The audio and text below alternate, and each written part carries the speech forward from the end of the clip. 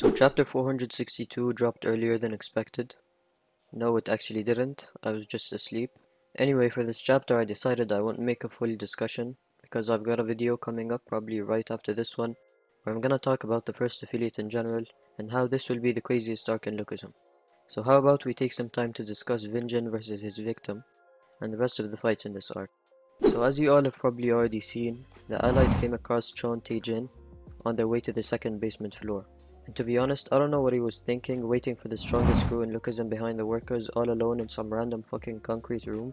I guess really just pre-ordered his ass whooping. Anyway, so there's a lot of people theorizing that Cheon Taejin, otherwise referred to as Victim Vinjin, is the man who killed Vinjin's brother. But to be honest, I don't really care about making any theories for this fight, since it's probably gonna be one of the best in the series, so I'm just gonna enjoy it for what it is. It starts off with Vinjin interrupting his victim as he's speaking and slamming his head straight into the unstable 700 year old concrete. It's then shown that he really is in this fight to kill and not to humiliate or anything of the sort. He wants to end this man's life, and to be honest I'm here for it. This is the gangism we all know and love, so I'm gonna cherish this execution all the way till it ends. Then Vinjin starts crying for some reason.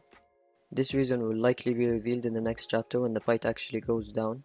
Cheon Taejin, the toilet paper enthusiast himself, then makes the grave mistake of revealing his weird ass tongue to the entire internet for free. I guess he forgot he was a manhwa character or something. And honestly, there was no better way of hyping this fight up than showing us that Vinjin is not the only one coming to this fight with killer instinct, but his opponent is as well. That was sadly the last we got of the Vinjin fight this chapter, but fear not, because there will be way more bloodshed for y'all in the next chapter to sip on and enjoy. So now let's discuss the potential fights coming up in this arc, and if I don't sound hyped at all, Trust me, I just woke up, so it's not even possible for me to sound hyped at this point. Just know that I am though. To start off, let's list the people we have on our side, just to show how heavily outnumbered we are this arc. So we have Daniel in his OG body by the way, and then we have Jay, Zack, Hudson and Jibyom who are both under reconstruction right now, and Jihan, who hasn't even trained since we last saw him. And I don't know if Vasco will fight or not, but he probably will considering he's got nothing wrong with him right now, there may have been a few more, but I don't remember them. Anyway, on the enemy team, we've got Daniel Park's second body, the bald version, meaning the sun is going to be reflecting the light off his head and onto his enemy's eyes, causing temporary blinding and severe retina damage.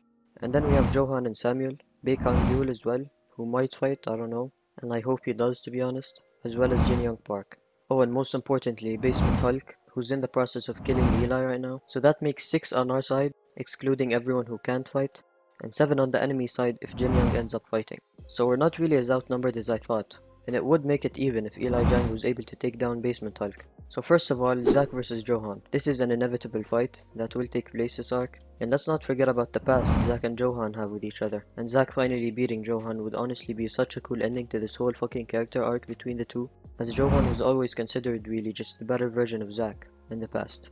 He would have to aspull a really huge trump card to take out a hormone-injected Johan who just learned to copy Ultra Instinct from Daniel's second body. Speaking of Daniel's second body, we have Daniel versus Daniel. The showdown finally happens. Or should I say, the harassment finally happens. Because this fight isn't even close to be honest. And I don't really think anyone thinks this is close, because it's basically Daniel fighting the better version of him. So from here on out, I don't really know who's fighting who, but either way, let's just look at the speculations.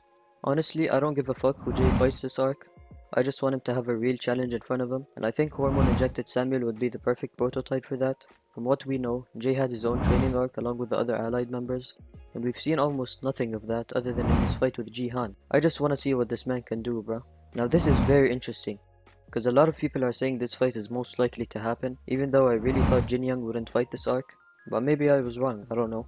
Maybe it's more special for Jake to fight Jin Young, considering he was a part of his dad's fist in the pre-generation, and if Jake really trained hard and learned how to fight just like his dad, fighting a copy genius who most probably copied his dad's fighting style and all of his crewmates would be a perfect challenge to see where Jake really ranks in this series to be honest. Anyway, I'ma leave the rest of these fights up to you all to speculate about and enjoy, so peace. Oh and by the way, before you kill me in the comments, I did forget about Mandeok and uh, fucking Yu Seong. For some reason I forgot that this is the last workers arc, which means that the people who are actually leading all of the workers will probably fight against us. I just got used to the format of like the second affiliate and shit like that, where we didn't really have Mandeok fighting or like Yu Yusion. But yeah, maybe they'll fight, maybe they won't. That's up to the author.